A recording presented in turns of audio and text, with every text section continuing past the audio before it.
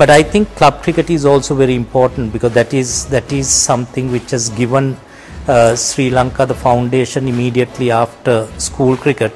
Uh, the players need that club structure because otherwise they will not get any opportunities. So, so we never wanted to do away with the uh, club system, which I think is very very essential, and there is some sort of affiliation for the cricketers to be involved with a certain club.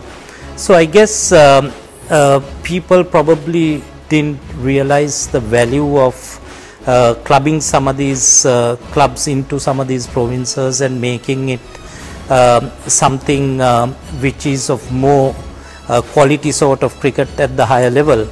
Um, and if, if, you take even um, the Australian structure, you would see the state sides. In within the states, there are so many clubs involved, and through the clubs only you will be able to pick a uh, through a, a, a, club tournament only they will be able to uh, pick a state team. So similarly, I think that is something which uh, uh even in 2003 I was really focusing on. Uh, but I'm, I'm sure uh, now it has really sunk into most of the people and they have bought the idea